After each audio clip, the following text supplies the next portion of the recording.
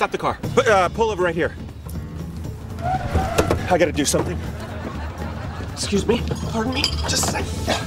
Enjoy your coffee. Hey! Hey! As I walked up to that door, a million thoughts raced through my mind. Unfortunately, one particular thought did not.